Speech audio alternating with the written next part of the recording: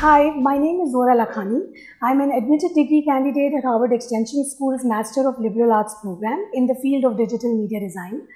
I'm also serving Harvard University as Global Ambassador since 2019. I'm an artist by profession and by passion. Um, being an artist, I feel that the most amazing aspect of my job is the fact that each day feels like a celebration and a play that I'm constantly passionate about. Upon completing my graduation from Harvard University, I wish to create animated movies for cinema as well as aesthetically beautiful movies for kids that can play a vital role in their personality development. I wish to work on stories and movies that can eventually be used by schools uh, as part of their curriculum as well as by parents at home. This year, due to COVID-19, all our events are going to be online, uh, but this does not stop us from having fun.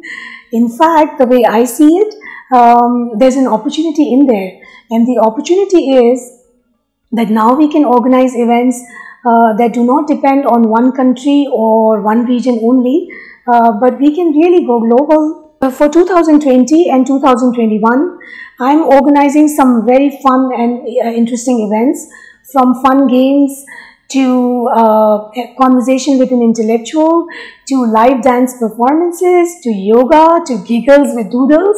So yeah, there's a lot going on. I'm very excited and I'm looking forward to see you all in our upcoming events. Bye-bye.